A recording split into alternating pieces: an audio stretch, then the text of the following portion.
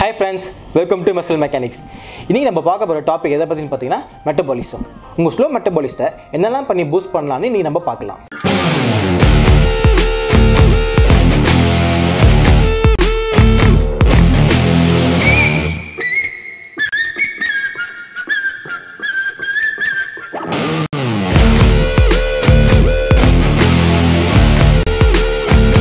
மெட்டபாலிசம்னா என்னன்னு பார்த்தீங்கன்னா நீங்கள் சாப்பிட்ற சாப்பாடை எனர்ஜியாக கன்வெர்ட் பண்ணுறது பேர் தான் மெட்டபாலிசம் அதே மாதிரி மெட்டபாலிக் ரேட்னா என்னன்னு பார்த்தீங்கன்னா நீங்கள் சாப்பிட்ற கேலரிஸை எவ்வளோ சீக்கிரம் உங்கள் பாடி பர்ன் பண்ணுதோ அதுதான் மெட்டபாலிக் ரேட் இப்போ பார்த்தீங்கன்னா உங்களுக்கு இருபத்தஞ்சு வயசில் பார்த்தீங்கன்னா உங்கள் மெட்டபாலிக் ரேட் வந்து ரொம்ப ஃபாஸ்ட்டாக இருக்கும். அதே உங்கள் நாற்பது வயசில் பார்த்தீங்கன்னா உங்கள் மெட்டபாலிக் ரேட் ரொம்ப ஸ்லோவாக இருக்கும். நீங்கள் உங்கள் மெட்டபாலிக் ரேட்டை கரெக்டாக வச்சுக்கிறது ரொம்ப முக்கியம்.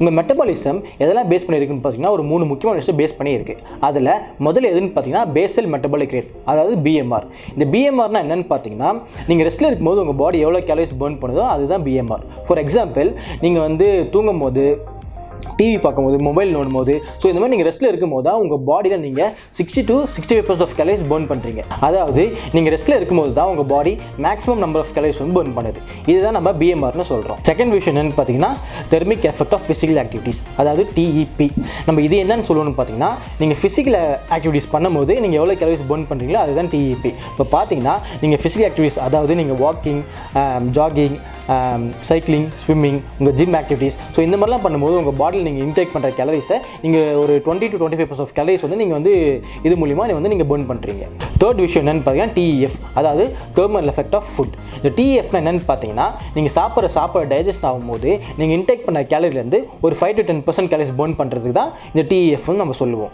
உங்கள் பாடி டைப் பொறுத்து மெட்டபாலிசமாக நம்ம டூ டைப்ஸாக பிரிக்கலாம். அது என்னென்னு பார்த்தீங்கன்னா fast metabolism and slow metabolism இந்த ஃபாஸ்ட் மெட்டபாலிசம் யாருக்கெல்லாம் இருக்குன்னு பார்த்தீங்கன்னா நம்ம ஹார்ட் கெய்னர்ஸ் கிட்ட பார்க்கலாம்.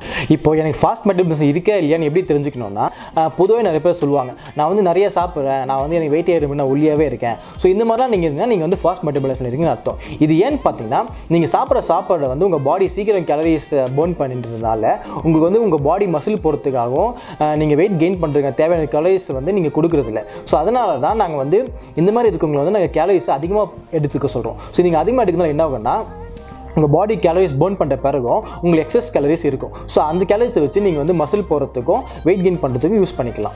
ஸோ அடுத்தது என்னென்னு பார்த்தீங்கன்னா ஸ்லோ மெட்டபாலிசம் ஸ்லோ மெட்டபாலிசம் என்னென்னு பார்த்தீங்கன்னா நீங்கள் சாப்பிட்ற கேலரிஸை உங்கள் பாடி வந்து ஸ்லோவாக burn பண்ணும். ஸோ எக்ஸஸாக இருக்க கேலரிஸில் உங்கள் பாடியில் ஃபேட்டாக ஸ்டோர் ஆகிடும் அதனால் வெயிட் லாஸ் பண்ணுறவங்க நினைக்கிறவங்களாம் உங்கள் மெட்டபாலிசமை பூஸ்ட் பண்ணுறது ரொம்ப முக்கியம். இப்போது இந்த மெட்டபாலிசம் எப்படி பூஸ்ட் பண்ணலாம் நம்ம இப்போ பார்க்கலாம். உங்கள் மெட்டபாலிசமை பூஸ்ட் பண்ணுறதுக்கு மோஸ்ட் எஃபெக்டிவான வே என்னன்னு கேட்டிங்கன்னா அது கண்டிப்பாக வெயிட் ட்ரைனிங் தான். ஏன்னு பார்த்தீங்கன்னா உங்கள் பாடியில் ஃபேட் மசில் ரெண்டு தங்கத்துக்குமே கேலரிஸ் தேவைப்படும். ஆனால் ஃபேட்டை விட மசில் தங்குறதுக்கு அதிகமான கேலரிஸ் தேவைப்படும். ஃபார் எக்ஸாம்பிள் உங்கள் பாடியில் ஒரு ஒரு கிலோ ஃபேட் இருக்கணும்னா அதுக்கு டென் கேலரிஸ் போதும். அதே ஒரு கிலோ மசில் இருக்கணும்னா அதுக்கு ஹண்ட்ரட் கேலரிஸ் தேவைப்படும். ஸோ உங்கள் பாடியில் நீங்கள் மசில் பில்ட் பண்ண பில்ட் பண்ண உங்கள் மெட்டபாலிசம் இன்க்ரீஸ் ஆகும். அதனால எக்ஸசைஸ் கேலரிஸும் போன் ஆகும். உங்கள் பாடியில் இருக்க ஃபேட்டும் சீக்கிரம் கரைஞ்சிரும்.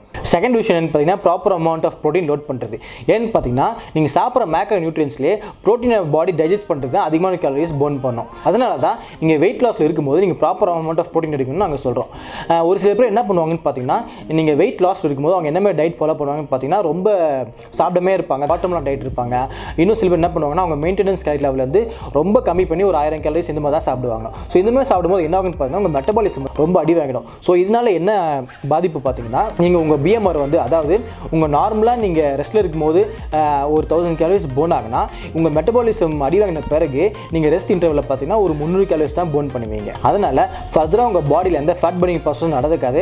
அதே சமயத்தில் உங்கள் பாடியில் எக்ஸஸாக ஃபேட் தான் ஸ்டோர் ஆகிருக்கும் ஸோ இதனால தான் உங்கள் மெட்டபாலிசம் ப்ராப்பராக இருக்கிறதுக்கு நாங்கள் வெயிட் ட்ரெயினிங்கும் டயட்டும் ரொம்ப முக்கியம்னு சொல்கிறோம் ஸோ இதில் தான் நீங்கள் மெட்டபாலிசம் ப்ராப்பராக மெயின்டைன் பண்ணுறதுக்கு தெரிஞ்சிக்க வேண்டிய விஷயங்கள். உங்களுக்கு வீடியோஸ்லாம் பிடிச்சிருந்தா லைக் கமெண்ட் ஷேர் பண்ணுங்கள் எங்கள் சேனலை மறக்காமல் சப்ஸ்கிரைப் பண்ணிவிடுங்க நாங்கள் போகிற வீடியோஸை உடனே உடனே தெரிஞ்சுக்கணும்னா பக்கத்தில் இருக்க பெல் ஐக்கனையும் கிளிக் பண்ணிவிடுங்க